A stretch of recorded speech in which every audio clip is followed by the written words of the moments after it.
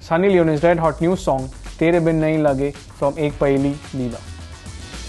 Sunny Leone sizzles in Tere Bin Nahi Laage, the new song from upcoming film Ek Paheli Leela. The song is a romantic ballad about lost love, which is the theme of the movie, where two lovers meet again and after being separated in their past lives for some reason.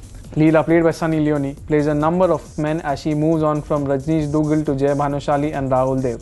There are powerful and passionate scenes of love in the movie, which have been pulled off effortlessly by Sunny Leone.